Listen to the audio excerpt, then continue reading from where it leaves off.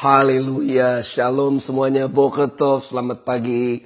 Selamat berjumpa kembali dalam acara live streaming ini, acara yang selalu dinanti-nantikan oleh kita semua, di mana setiap hari ada tuntunan, ada pengarahan, ada peneguhan, semakin hari semakin jelas kita memahami apa yang Tuhan sedang kerjakan di hari-hari ini, karena memang Tuhan mau supaya kita mengerti apa yang Dia sedang lakukan, supaya kita ambil bagian di dalam momentum-momentumnya, supaya kita terlibat di dalam rancangannya. Benarlah rancangan Tuhan itu adalah supaya pada akhirnya setiap, telinga boleh mendengar, supaya setiap mata boleh melihat, dan akhirnya setiap mulut akan mengaku, dan setiap lutut akan bertelut.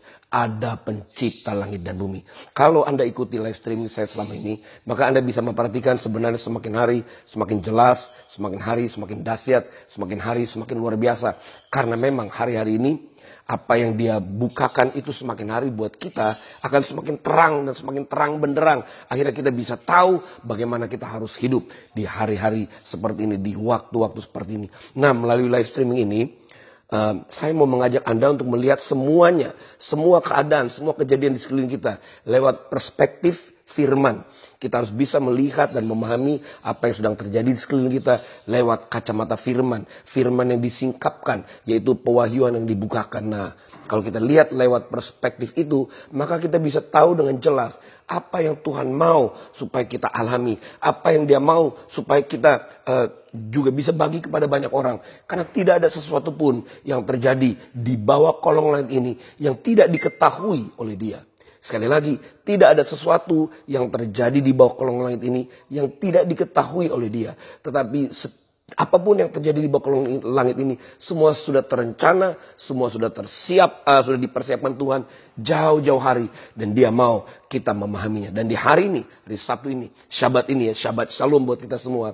Hari ini Tuhan mau kita uh, mendengarkan apa yang dia mau katakan dengan hati yang terbuka, dengan pikiran yang jelas dan fokus kepada dia supaya kita dapat memahami dan kita bisa ada di dalam kehendak dia yang semakin hari semakin dinyatakan sampai seluruh kebenarannya itu terjadi dalam hidup kita. Kemudian kita menjadi saksi dari apa yang kita terima dari Tuhan. Karena itu setiap hari termasuk hari ini. Hari ini banyak waktu mungkin Anda tidak ada banyak kegiatan di luar di rumah, tapi renungkan firman Tuhan baik-baik dan jangan lupa selalu bagikan di dalam keluargamu, bagikan kepada uh, anak-anakmu, bagikan kepada setiap orang yang Anda kasih supaya mereka juga mengerti, mereka tahu bahwa ada pencipta langit dan bumi yang mengatur segalanya, yang mempersiapkan segalanya. Oh puji Tuhan, mari untuk kita mendengar lagi apa yang Tuhan sudah taruh dalam hati saya, mari kita buka hati dan sepakat Open our hearts and agree. Karena tidak cukup hanya membuka hati, tapi kita juga harus sepakat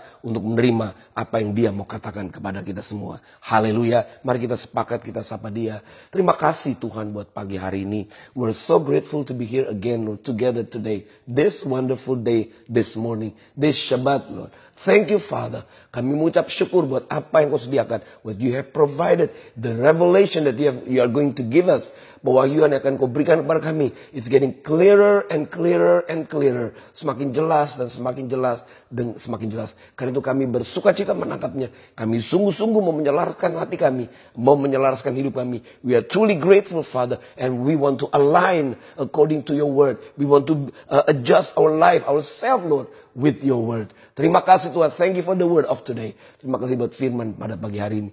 In your wonderful name. Hallelujah. Amin. Amin. Amin. Nah. Apa yang selama ini Anda terima dari saya lewat live streaming? Uh, kalau saya ingat live streaming ini sudah berjalan cukup panjang. Kalau Anda ikut dari awal, it's been a year already. Sudah satu tahun ya, sudah satu tahun. Uh, Roh Kudus saya terus menyampaikan setiap hari kebenaran ini. Tidak terasa, saya juga tidak terasa sudah satu tahun. Dan Tuhan katakan kita ma dia mau supaya kita betul-betul tenggelam, masuk kepada firman-Nya, menangkap apa yang dia katakan. Karena kalau dia datang kembali, dia tidak datang sebagai pencuri kepada orang-orang yang yang tahu firman. Tapi dia justru akan memberikan penjelasan waktu-waktu yang akan kita lalui. Itu sebuah perjalanan waktu. Itu perjalanan di mana firman semakin hari semakin disingkapkan. Sekali lagi tidak ada yang kebetulan. Apa yang kita lalui dari hari ke hari waktu ke waktu, bulan ke bulan, tahun ke waktu. Tidak ada kebetulan. Karena kalau menurut penanggalan Ibrani, itu memiliki arti dari setiap tahun yang kita lalui. Itu punya makna profetik yang sangat dalam. Nah ini sudah satu tahun eh, dari September yang lalu. Saya bagi ini sudah masuk ke bulan yang Oktober sudah satu tahun lebih sedikit. Dan saya harap uh, dari anda yang awal atau yang selalu mengikuti live streaming you are getting apa uh, blessed anda diberkati anda dibukakan karena the purpose of God to you and I rancangan Tuhan untuk hidupmu dan hidupku the purpose of God for us for our family for our city and for our nations it is being revealed uh, rancangan Tuhan untuk kita secara pribadi untuk keluarga kita untuk kota kita, bahkan untuk bangsa di mana kita dilahirkan atau di mana kita tinggal, itu akan digenapi. Jadi kita adalah orang-orang, bukan orang-orang yang tidak tahu, tapi orang-orang yang dibukakan. Nah, kalau dibukakan, apa yang kira-kira Tuhan mau supaya kita lakukan? Tuhan mau supaya kita selaras. He wants us to be aligned according to what is being revealed. Dia mau supaya kita selaras dengan apa yang dia nyatakan. Jadi kita tidak perlu khawatir, kita tidak perlu takut. Kenapa? Kita lihat jelas kok tuntunan firman Tuhan.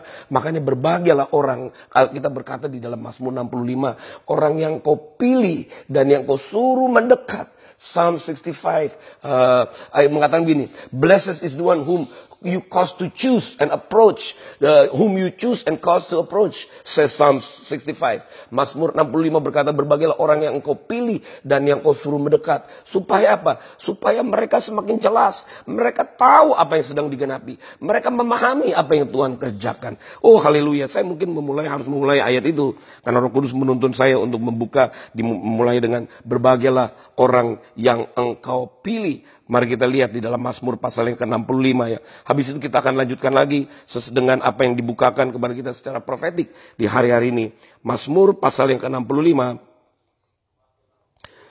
ayat yang keempat ya bahasa Indonesia, ayat yang kelima bahasa Inggris. Psalm 65 verse 5 in English, 4 in Indonesia. Saya bacakan dikatakan begini, berbahagialah orang yang engkau pilih dan yang engkau suruh mendekat untuk diam di pelataranmu. Kiranya kami menjadi kenyang dengan segala yang baik di rumahmu, di baitmu yang kudus. Jadi kalau Alkitab berkata, kalau pemazmur berkata, blessed is he, atau berbahagialah orang yang Tuhan pilih ya. Tuhan pilih kemudian Tuhan panggil untuk mendekat. Karena everything is going to be clear. Semuanya is going to be clear, is going to be revealed. Semua akan jadi jelas, semua akan dinyatakan. Supaya orang-orang yang dipanggil, orang-orang yang dipilih untuk mendekat, mereka akan dipuaskan.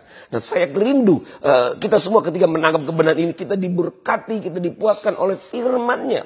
Karena saya percaya firman Tuhan tidak pernah gagal. Jadi kita sedang ada di dalam waktu-waktu penyingkapan firman. Dan ketika waktu penyingkapan firman bagi orang-orang dipilih, orang-orang disuruh mendekat, firman itu dibukakan, diberikan semakin jelas. Supaya kita menjadi kenyang. Supaya kita dipuaskan dengan apa yang Tuhan bukakan di hari ini. Praise God, this is the word of God. Ini adalah firman Tuhan. Dikatakan kamu akan menjadi kenyang. Ketika kamu mengerti bahwa I choose you, I have chosen you and caused you to approach. Blessed is he whom you choose and cause to approach, says Psalm. Diberkatilah orang yang engkau pilih dan engkau suruh mendekat. Karena dia buat orang-orang yang suruh mendekat tidak akan dibuat samar-samar. Tapi Tuhan akan buat jelas. Apa sih yang, yang, yang akan diperjelas? Tuhan akan memperlihatkan tentang waktu-waktu yang dilalui. Oh my God, Tuhan akan perlihatkan waktu-waktu yang dilalui. Dan dia akan beritahu, every year, every season, setiap tahun. Tahukah Anda? Di setiap tahun orang Ibrani, saya renungkan di situ, saya temukan begini. There is blessings in every seasons of the Lord.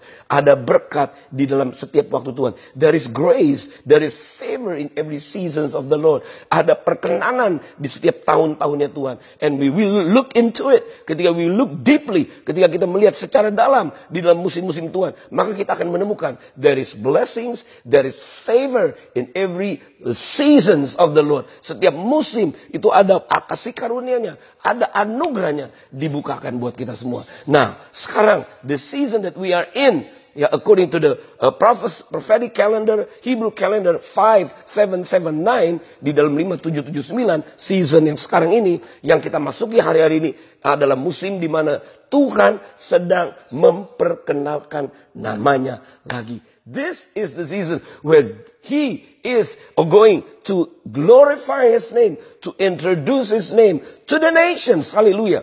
Tuhan sedang memperkenalkan namanya kepada bangsa-bangsa supaya orang bisa melihat dan orang bisa memahami. Cuma Tuhan yang dapat menolong. Cuma Tuhan yang dapat menjamin hidup. Cuma Tuhan. Makanya kita sudah kupas beberapa hari ini. Selama beberapa hari ini. Tentang the name of the Lord. Daud pun berkata begini. Kemarin kan kita sudah bahas bahwa Mazmur 34 ayat 12 dikatakan, Come children, listen to me. Dengarkanlah hai anak-anak. Takut akan Tuhan. The fear of the Lord. I will teach you how to fear the Lord. Aku akan mengajar kamu bagaimana kamu takut akan Tuhan. Karena ketika namanya diperkenalkan, many things gonna take place. Banyak hal akan dinyatakan akan terjadi. And many things going to be revealed and exposed. Dengar dua kata ini dari beberapa hari saya sudah katakan. Uh, uh, reveal, the revealing and then the exposing. Akan ada pernyataan tapi juga akan ada penyingkapan. Dan ketika nama Tuhan diperkenalkan lagi, maka akan ada uh, penyingkapan, akan ada revelations, penyikapan firman, tapi ada juga exposing. Penyi kalau berbicara tentang expose, itu berbicara hal-hal yang tersembunyi, itu akan dimunculkan oleh Tuhan. Kenapa? When the name of the Lord is being known, being revealed. Karena rupanya ya, kalau kita perhatikan, kan Tuhan punya waktu dan saat. Ingat nggak pengkhotbah tiga ayat yang pertama? Pengkhotbah tiga yang pertama untuk segala sesuatu ada waktunya. Untuk apa pun juga, untuk segala sesuatu ada masanya. Untuk apa pun juga di bawah kolong langit ini ada ada waktunya. So, waktu sekarang yang telah Tuhan tetapkan, saya mau Anda mendengarnya dengan baik-baik. Waktu sekarang yang Tuhan tetapkan adalah waktu di mana Tuhan sedang memuliakan namanya lagi. He is glorifying his name again. He is lifting up his name. He is making his name known through all the nations. Dia sedang memperkenalkan namanya kepada bangsa-bangsa. Dan dimulai dari mana? Saya bukakan satu ayat pagi hari ini. Dimulai dari negeri-negeri yang ada di timur. Termasuk Indonesia di dalamnya. Kita akan lihat di dalam Yesaya 24 ayat yang ke-15. Yesaya 24 ayat 15 dikatakan begini. Sebab itu permuliakan Tuhan di negeri-negeri timur, koma. Nama Tuhan Allah Israel di tanah-tanah pesisir laut. Baca sekali lagi. Di dalam Yesaya 24 ayat 15. Sebab itu permuliakanlah Tuhan di negeri-negeri timur.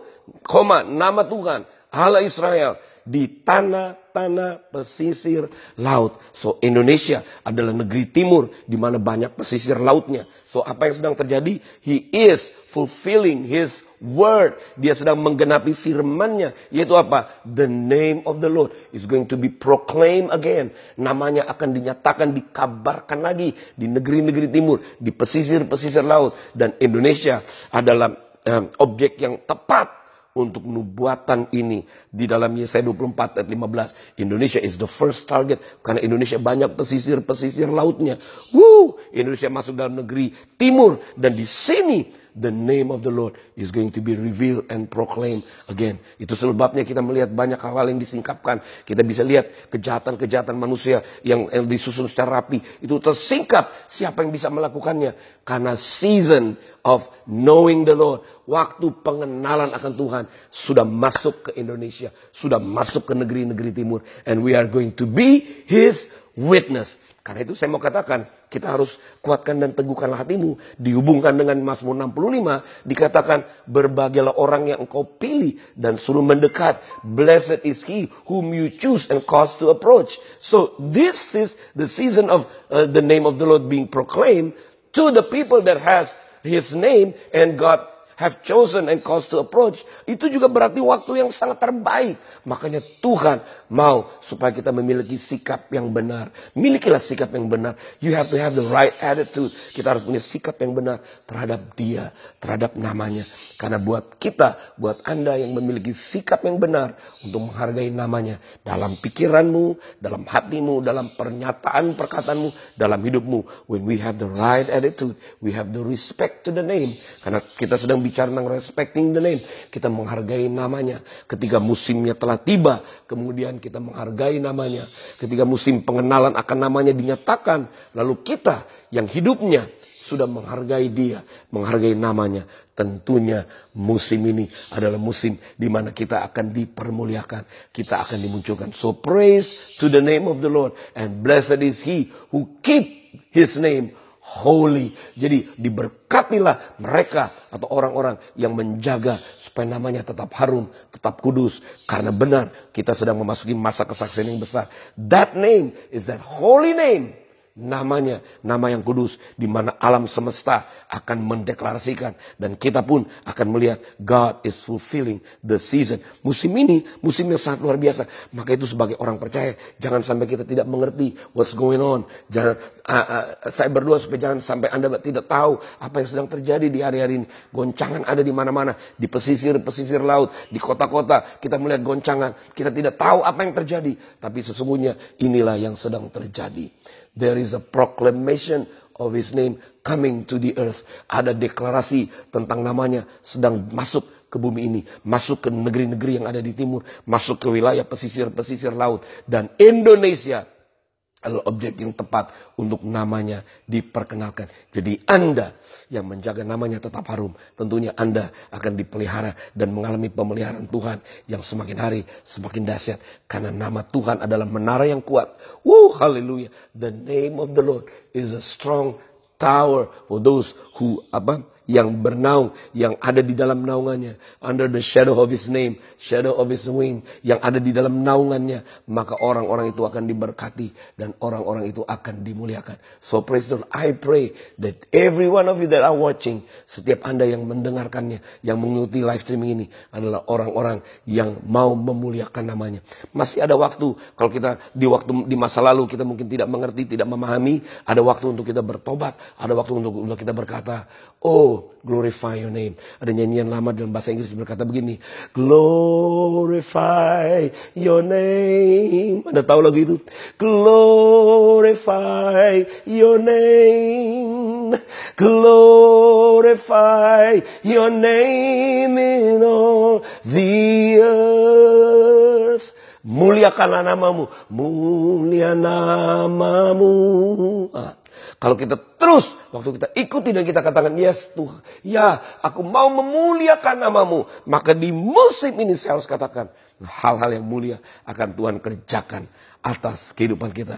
Praise to the name of the Lord. Terpujilah nama Tuhan. Dan buat setiap kita yang ada namanya, kita pun layak bersuka cita. Oh haleluya. Biarlah hari Sabtu ini, uh, hari yang luar biasa, hari holiday, hari Syabat ini, Anda ada di rumah bersama dengan keluarga. Ceritakan kepada keluargamu. Kalau Anda sedang bergaul dengan teman-teman, kasih tahu. Karena ini waktu yang tidak main-main. When he is proclaiming his name, kalau dia sedang menyatakan namanya, tentunya ada exposing, ada penyingkapan dari hal-hal yang tidak berkenan. Karena ingat loh, Tuhan melihat setiap hati manusia. Tuhan tahu hati setiap orang dan itu sedang diekspos hari-hari ini. Karena tidak ada yang dapat berlaku, tidak ada yang dapat berlaku fasik, tidak ada yang dapat berlaku najis ketika nama Tuhan sedang dipermuliakan. So we must be very careful. Kita harus berhati-hati karena ini adalah waktu waktunya. Dan biarlah kita masuki waktu-waktu hari ini dengan ucapan syukur dan berkata, Aku berterima kasih Tuhan, permuliakanlah namamu, datanglah kerajaanmu, jadilah kehendakmu di bumi seperti di sorga. Ayo kita selaraskan hidup kita, selaraskan pikiran kita, selaraskan hati kita, selaraskan mulut kita, supaya Tuhan bisa pakai kita menjadi channel of witness, channel of testimony, menjadi alat untuk kesaksian bahwa benar pada kita ada namanya. Praise the Lord. Tuhan memberkati hidupmu, Tuhan memberkati keluargamu, Tuhan memberkati hari libur ini. May God bless you. The favor of the Lord is with you. I really shalom over you, your family, over your activity today. This holidays weekend, may the, this weekend be a blessing weekend. Biarlah uh, akhir pekan ini menjadi akhir pekan yang diberkati sebab kita mendengar firman-Nya dan kita bisa berkata Tuhan permuliakanlah namamu dalam setiap hidup kita. Dan akhirnya kita betul akan mengecap dipuaskan kata Mazmur 65 berbagailah engkau orang yang kau pilih dan orang yang kau suruh mendekat supaya mereka dipuaskan Tuhan Yesus memberkati. Sampai jumpa lagi dalam pertemuan berikut. Ingat, kalau Anda ada pertanyaan-pertanyaan, ya di sini ada komen puji Tuhan. Tapi